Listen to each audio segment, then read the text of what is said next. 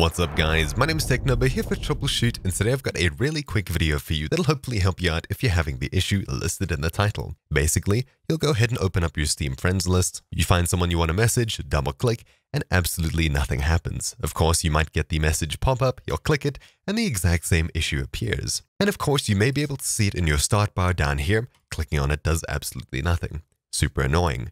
How exactly do we fix it? Well, looking at the friends list over here, Simply click the cogwheel in the top right, then head down to Chat. Then simply find the first option over here, Dock Chats to the Friends list, and turn it on. Upon doing that, the chat window will be docked on the right-hand side of the Friends list, and it's rather useful to drag it around as such, though of course, you may not be happy with how this works. To get it back to the way it was before, simply turn it off, and the window should then open up wherever it was previously, allowing you to drag it around. And of course, if this was on before and it's simply not there, simply turn it off and back on.